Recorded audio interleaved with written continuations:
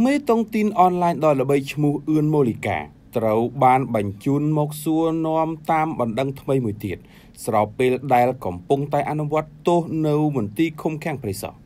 ប្រពន្ធព័ត៌មានពីសាលាដំបងបានបញ្ជាក់ថា សំណុំរឿងឆោបោកដែលលោកព្រះរាជអាជ្ញាសេងប៊ុនស្រុនចាត់ការនេះមានដើមបណ្ដឹងឈ្មោះថាវឿនដាវី ភេទស្រីអាយុ21ឆ្នាំ ជាអ្នកប្តឹងប៉ុន្តែមានទឹកប្រាក់ឆោបោកប៉ុន្មាននោះមិនប្រកាសនោះទេ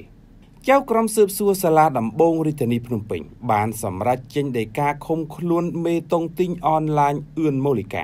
ដាក់ពន្ធនាគារជាបណ្ដោះអាសន្នក្រោមការចោទប្រកាន់ពីបទមិនគោរពកាតព្វកិច្ចចំពោះឧបករណ៍អាចជួញដូរបាន ពលគឺពាក់ព័ន្ធនឹងការចេញមូលបត្រអត់មានសាច់ប្រាក់ ឬសាច់ស្អុយប្រមាណជា365,000ដុល្លារអាមេរិក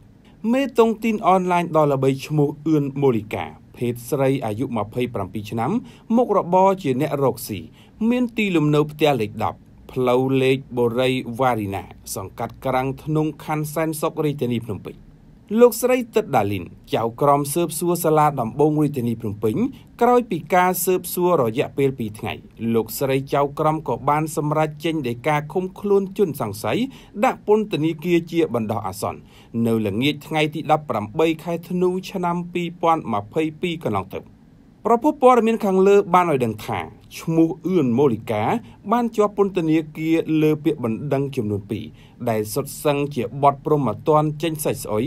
ស្មើទឹកប្រាក់ប្រមាណ365,000ដុល្លារសហរដ្ឋអាមេរិក ដោយពាក្យបណ្ដឹងទី1អ្នកនាងអឿនម៉ូលីកា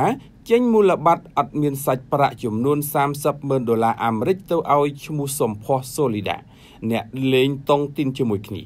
និងបណ្ដឹងទី2គឺអ្នកនាងអឿនម៉ូលីកាចេញមូលបត្រអត់មានសាច់ប្រាក់ឲ្យទៅឈ្មោះទីចានូចំនួន65,000ដុល្លារអាមេរិកក៏ជាអ្នកលេងតុងទីនដែរដើម្បីយកទៅទិញរថយន្តដោយជនសង្ស័យអះអាងថា ខ្ចីមិនបានដល់មួយខែទេនិងប្រគល់ប្រាក់សងវិញគ្រប់ចំនួន ទីបំផុតចេញសាច់ស្អុយមួយសន្លឹកប៉ុណ្ណោះ